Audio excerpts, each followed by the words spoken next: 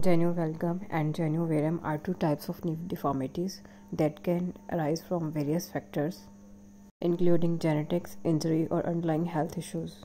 Early diagnosis and treatment are essential for optimal prognosis.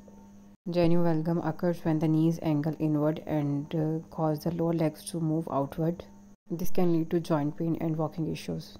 It can be memorized by its own term gum that means sticky. So both knees are sticky causing knock knee position.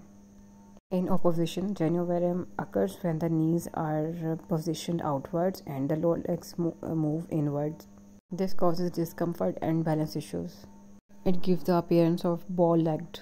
And you can remember the word by the term rum that makes your knees spread apart.